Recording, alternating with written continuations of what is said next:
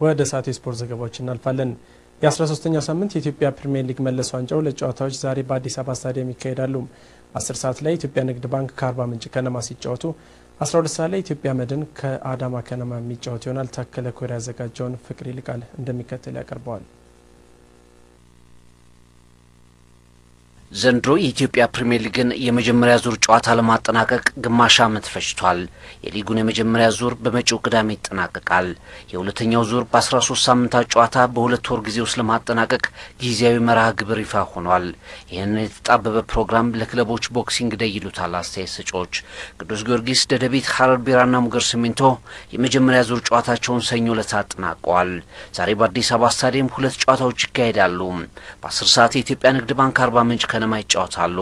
በአስራ ሁለተኛው ሳምንት በቅዱስ ጊዮርጊስ የሁለት ለባዶ ሽንፈትን ያስተናግደው ንግድ ባንክ ከወራጅ ቀጠና በአስተማማኝ ለመራቅ ድል ማድረግ ይኖርበታል። በአዲስ አበባም የበርካታ ደጋፊ ባለቤት የሆነው አርባ ምንጭ ከነማ ዋና አሰልጣኝ አለማየሁ አለንጎ በቅጣት ቡድኑን አይመሩትም። በደረጃ ሰንጠረዥ አርባ ምንጭ ከነማ በ16 ነጥቦች ዘጠነኛ ላይ ሲሆን ተጋጣሚው ንግድ ባንክ በ11 ነጥቦች 11ኛ ላይ ይገኛል።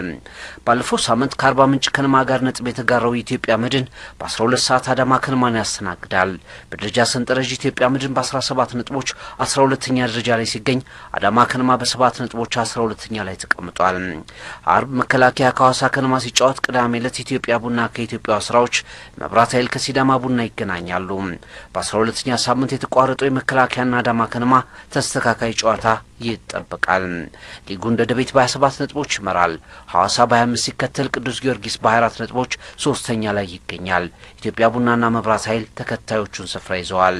ኮከብ ጎል አግቢነቱን ጌታነህ ከበደ በ12 ጎሎች ይመራል። በአውሮፓ ሻምፒየንስ ሊግ የሩብ ፍጻሜ ባለሜዳው የፈረንሳዩ ፓሪስ ሴን ዠርሜ ባለቀ ሰዓት ባስቆጠራት ጎል ከስፔኑ ባርሴሎና ጋር አቻ ተለያዩ። በ20 ተከታታይ ጨዋታዎች ጎል በማግባት ታሪክ የሰራው አርጀንቲናው ሊዮኔል ሜሲ ጉዳት አጋጥሞታል። ቻምፒየንስ ሊግ ጨዋታ ባየር ሙኒክ ጁቬንቱስን ሁለት ለዜሮ አሸነፈ። አጥቅተን መጫወታችን ጠቅሞናል ብሏል የባየር ሙኒክ አሰልጣኝ ዩፕ ሄንከስ። የጁቬንቱስ አሰልጣኝ አንቶኒዮ ኮንቴ በበኩላቸው የመልስ ጨዋታ እንዳለ መዘንጋት የለብንም ብሏል።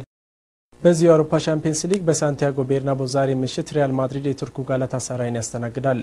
የጋላታ ሳራዩ አሰልጣኝ ፋቲህ ቴሪም ለክርስቲያኖ ሮናልዶ የተለየ ትኩረት እንደማይሰጡ ተናግረዋል። የሰዓቱ ዜናዎቻችን በዚሁ ተጠናቀዋል። አልጋነች ምሽት 3 ሰዓት ከ45 ላይ ሪያል ማድሪድ ከቱርኩ ጋላት ሳራይ የሚያደርጉትን የሻምፒየንስ ሊግ ጨዋታ ኢትዮጵያ ሬዲዮና ቴሌቪዥን ድርጅት በቀጥታ ያስተላልፋል። ተመልካቾቻችን እንዲከታተሉ እንጋብዛለን። አመሰግናለሁ ናስ። ተመልካቾቻችን የሰዓቱን ዜናዎች ከማብቃታችን በፊት አበይት ርዕሶቹን